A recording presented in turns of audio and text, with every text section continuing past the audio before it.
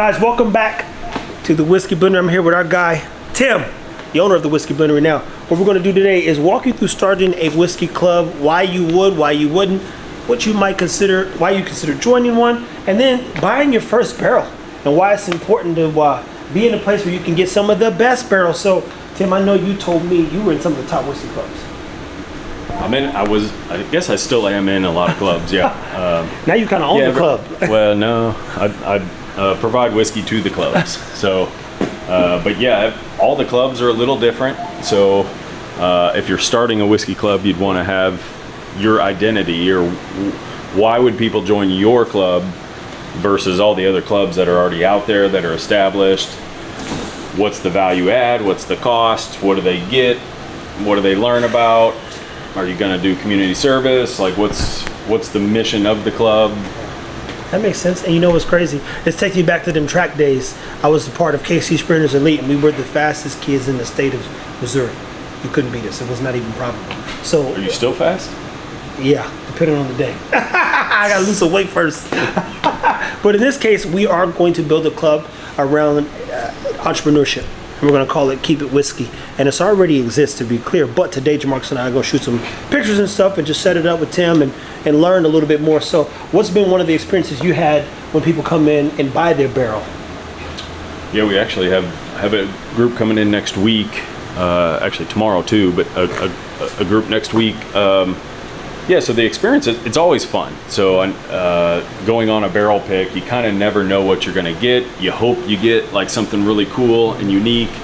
Um, and then when you do get something cool and unique, then you're excited to share it with the rest of the club. So being on the barrel pick uh, team or on the blending team is always is always a blast, um, and it's always a good day. So it usually takes about a half a day. um, so we got a group next Wednesday if you wanna Yeah, I'll be here. if you wanna check it out. It's not even a, it's not even a question. As long as I'm in town, yeah, I'm not going nowhere. To, I'll be here. Yeah, yeah, so, so- what was some of the reasons that you joined clubs then? Uh, to, to learn about whiskey, to share some of the bottles that I have, um, because it's you know you get good whiskey and you want to share it with somebody. You don't want to just drink it alone. So um, and and then have that reciprocated too, because there's a lot of bottles that I want to try that I can't find or can't get or can't afford, but somebody else has it and they want to share. So then it's like okay, well, and now now my my whiskey knowledge is getting much more broad in bottles that I thought I would like that I thought if I ever saw them I would buy them then I try them and it's like I don't need to buy that. Or man this was overhyped and it's not that good so I can save a couple hundred bucks and I don't need to buy that. So joining the clubs it, it kind of helps you realize what you like, what you don't like, uh, learn more about whiskey, have have friendship, have brotherhood, have um, have little meetups here and there, and then it's uh, it's kind of cool too because most of the most of the whiskey clubs are very generous and want to give back to the community. Um, so yeah, it's uh, it's full circle, and that's why that's why we have so many clubs that want to give a portion of every bottle back to a local charity or do the actual work on a building, that kind of stuff. So there's a lot of lot of value there. There you go. Now, again, people, I've learned a ton about whiskey and even why it's important to connect to people because of or have a share a story, uh, do some business over whiskey. This is a business house here, man. There's a lot of great things that are taking place. There's a lot of a lot of business deals have been consummated next door. So that's it's the new golf course. So the deals a used to be one. done on the golf course. Now it's in a now it's in a whiskey lounge, like over over high end whiskey, and and people of power come here and they get stuff done. They get they solve the world's problems. It's pretty cool.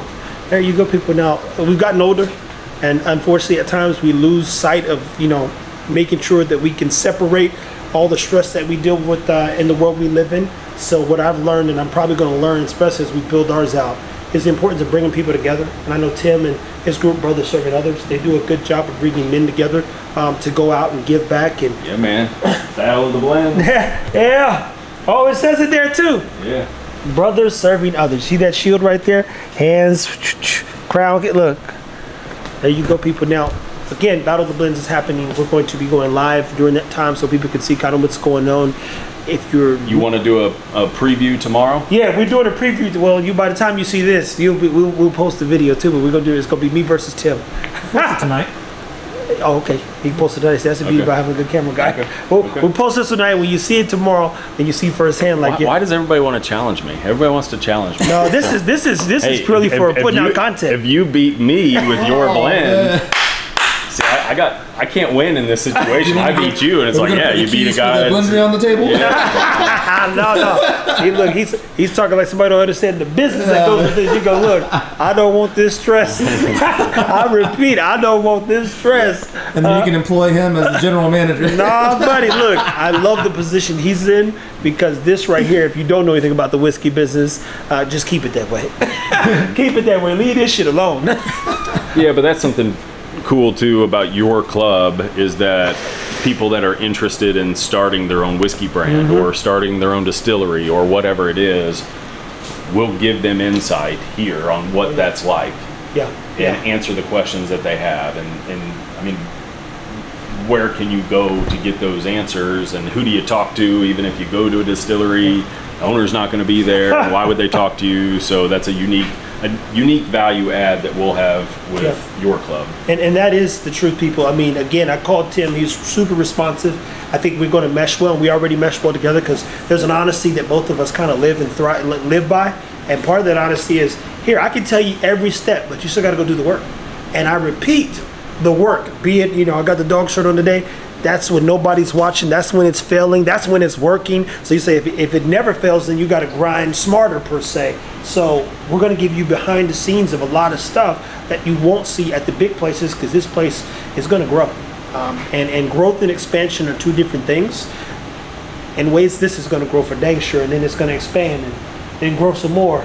Uh, and then it's going to you do we you know it's just going we just going to keep it whiskey man look Yeah, we're not we're not gonna as far as letting clubs in Yeah. with the exclusivity that we're letting your clubs in to kind of learn about the business. That's the only club that we're gonna do this with. So keep that in mind people that's it's it's a one-stop shop for us and and again i've learned a ton we've got a lot of stuff to show you uh, this this this place keeps me up at night it's one of those things where you, and, and i don't have the stress he has i don't have the stress he has but you know i'm one of those people that if you believe in the people you're around you you want to try to you know add value in the best way you can. So i just think about how i can you know bring more for you uh, watching and then even more importantly just help the world be a better place.